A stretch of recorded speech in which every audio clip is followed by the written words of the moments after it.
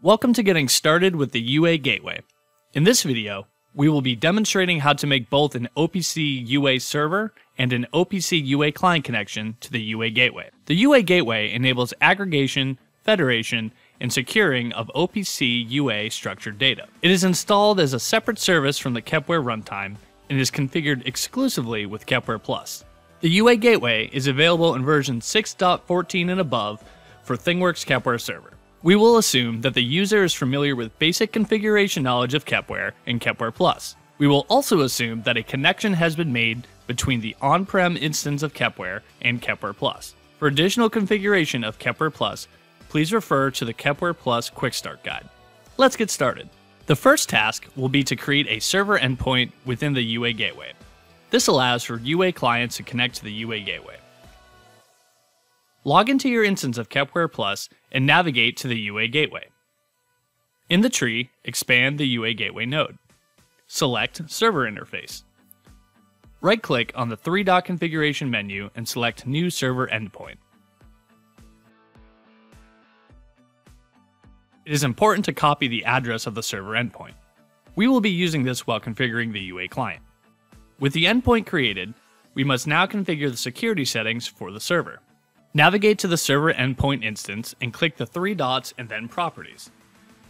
From here, you can see the various options for security, including authentication methods and updated encryption methods.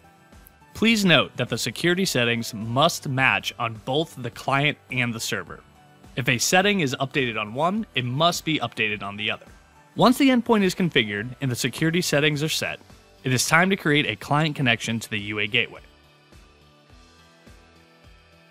For this video, we will be using UA Expert. However, the general concept will be the same for any UA client. We will create a new connection, paste our server endpoint URL, and match security settings of the server. We will now click Connect. Note, the initial connection will fail because we have not yet trusted the certificate in Kepware Plus.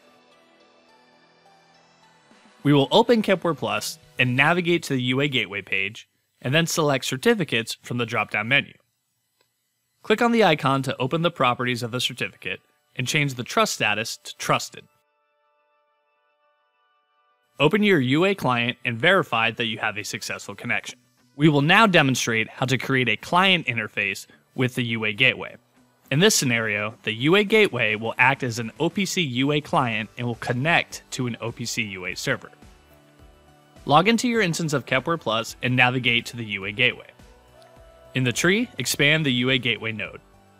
Select Client Interface and click New Client Connection. Input the relevant information in the pop-up window. The URL name will be the endpoint URL of the OPC server we are trying to make a connection to. Similar to the server connection, the identity and security policies must match. Once the information is complete, click Save.